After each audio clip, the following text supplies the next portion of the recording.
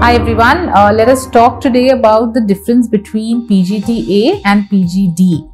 Uh, they are commonly used, you know, synonymously. Uh, we tend to think it is the same. Let us try and understand the basic difference between the two.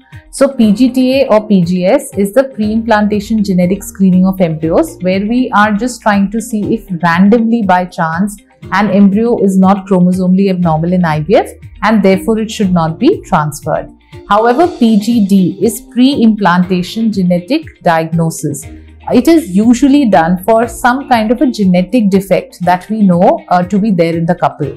So, if I try to explain, uh, see any woman or as a couple as we are aging, there is a tendency for eggs and sperms to become chromosomally abnormal during their division and therefore an embryo might be chromosomally abnormal. It's a random chance, it can happen in anybody, but its chance increases as age goes up. So, especially as the woman's age goes up above 35, we say that every month we don't conceive, every IVF we don't conceive, or our risks of miscarriages are going up, primarily because some of these embryos may be not chromosomally abnormal even when they implant, or that's the reason they're not implanting.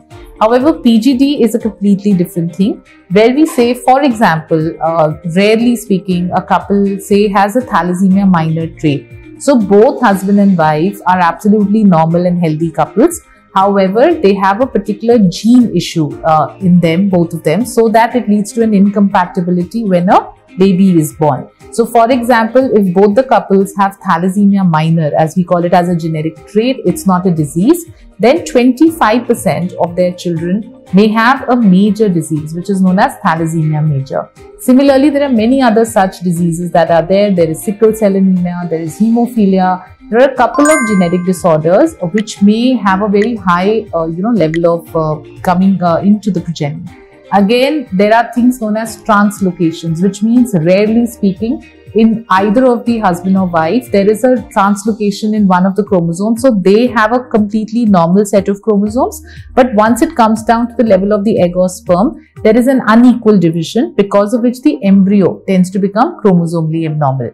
In such cases, IVF with PGD is a boon because if they keep trying on their own naturally, then it's just a random chance that, you know, whether depending on their percentage of recurrence, uh, whether the normal embryo will implant or not. So, unfortunately, if somebody's had such kind of prior history, it is very much now possible to actually weed out the genetically abnormal embryos, which means जो embryos ठीक नहीं है, we will detect them before conception and we will only implant the normal embryos. So PGD is specifically done for some genetic diseases or it's called PGT-SR or PGT, you know, when it's a specific structural relocation, uh, you know, uh, translocation that we are looking at.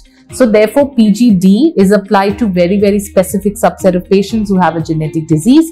However, overall to increase IVF rates, overall to decrease the risk of miscarriage or in women with advanced age, where we want to, you know, make sure we're putting in chromosomally normal embryos, that is where a technology called PGS or PGTA is done. So I hope that basic difference between PGTA and PGD uh, is now, uh, you know, we understand the difference. Thank you very much.